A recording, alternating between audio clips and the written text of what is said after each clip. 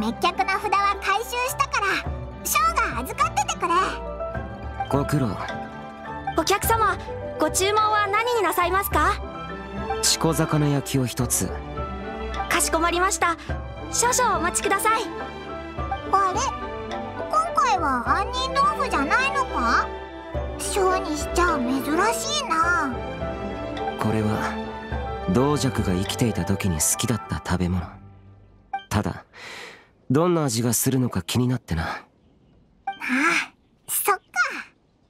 チコ探しに海潜り。